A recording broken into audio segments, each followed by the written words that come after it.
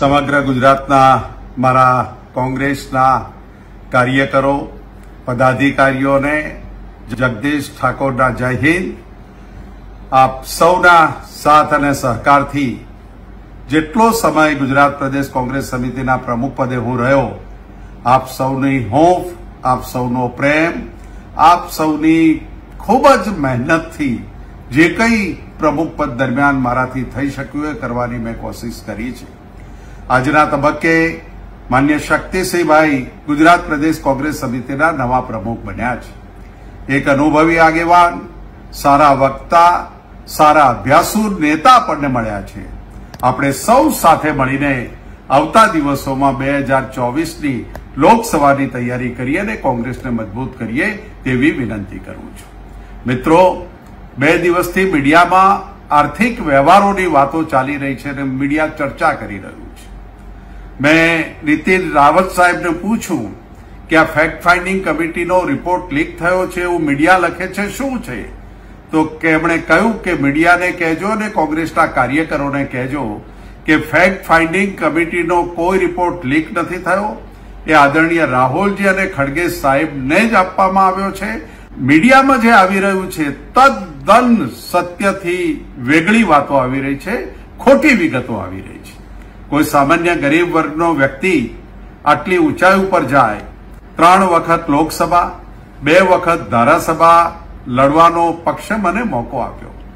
આપણા સૌના કોંગ્રેસના નેતા આદરણીય સોનિયાજી, આપણા સૌનું આવતા દિવસનું અને દેશનું ભારતનું ભાવિ રાહુલજી, આપણા સૌના દીદી આદરણીય પ્રિયંકાજી અને આપણા સૌના વરિષ્ઠ મોભી ખડગે સાહેબ અને કોંગ્રેસ નેતૃત્વનો ખૂબ આભાર માનું છું.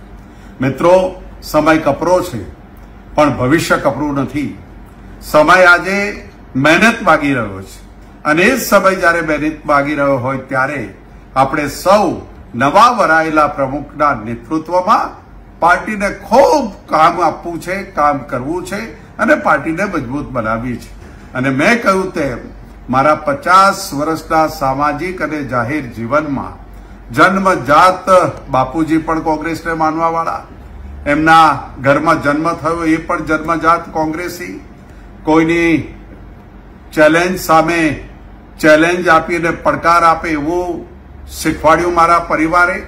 કોંગ્રેસે મને ગરીબ પરિવારમાંથી જ્યારે આટલી મોટી જગ્યાએ પહોંચતો કર્યો હોય ત્યારે કોંગ્રેસમાં એ ભ્રષ્ટાચાર વિરુદ્ધની લડાઈ હોય.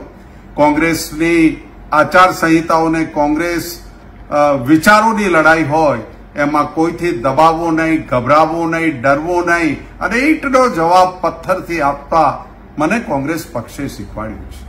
પણ જેનામાં ઈમાનદારી હોય, જે ક્યાંય આર્થિક વ્યવહારોમાં પડ્યો ના હોય, જે કંઈ ચારિત્રમાં અણીશુદ્ધ હોય, અને એક માનવતાવાળી વાતને લઈને ચાલતો હોય એને બદનામ કરવા માટેના પણ જે કાવતરાઓ થઈ રહ્યા છે, એ પણ દુઃખદ છે.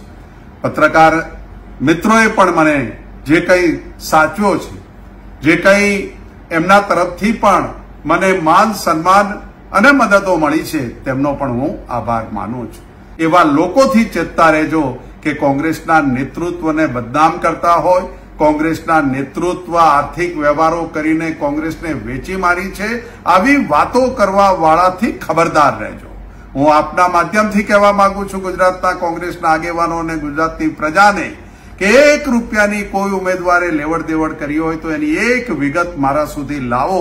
એક કલાકમાં હું પ્રમુખ નહીં હોય તો પણ રાહુલજી આદરણીય કેસી વેણુગોપાલજી, આદરણીય શક્તિસિંહજી અને આદરણીય અમિતભાઈની પાસે બેસીને એનો ન્યાય કરાવીશું, નિર્ણય કરાવીશું. અને એટલે જ આપ સૌને વિનંતી કરું છું કે કેટલાક પ્રચાર માધ્યમો, કેટલાક સોશિયલ મીડિયામાં ભારતીય જનતા પાર્ટીના લોકો કોંગ્રેસના નેતૃત્વને ખતમ કરવાની વાતો કરતા હોય, એમાં બિલકુલ સાવધાન રહેજો. બેઠો છું. આવતા દિવસોમાં પણ પ્રમુખ તરીકે તમારી વચ્ચે હતો. આજે પ્રમુખ નથી, તો પણ અડધી રાતે કોલ કરજો, તમારી વચ્ચે રહીશ. અને આપણી સૌની મહેનત એ રાહુલજીના આશીર્વાદથી, સોનિયાજીના આશીર્વાદથી આપણને સૌ ભેગા થઈને કોંગ્રેસને મજબૂત કરીએ.